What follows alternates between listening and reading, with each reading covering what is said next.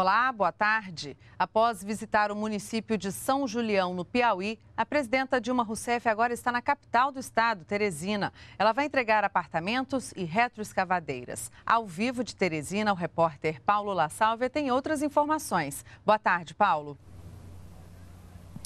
Boa tarde, Daniele. Depois de visitar obras contra a seca e assinar ordens de serviço no interior do Piauí, a presidenta Dilma Rousseff entrega daqui a pouco, aqui em Teresina, 400 apartamentos para 1.600 pessoas que viviam em áreas de risco na cidade. O condomínio Bem Viver, que é esse em que nós estamos aqui neste momento, faz parte do programa Minha Casa Minha Vida. Foram investidos, segundo a Caixa Econômica Federal, pouco mais de 16 milhões e meio de reais no residencial residencial, que vai atender famílias com renda por mês de até três salários mínimos, que é o público prioritário do Minha Casa Minha Vida. Nessa faixa de renda, o governo banca até 95% do valor do imóvel. O restante é pago em parcelas de 25 reais por mês. O prazo para começar o pagamento é de 24 meses e a dívida é quitada em 10 anos. Não existem juros. Os beneficiados precisam cumprir algumas obrigações obrigações: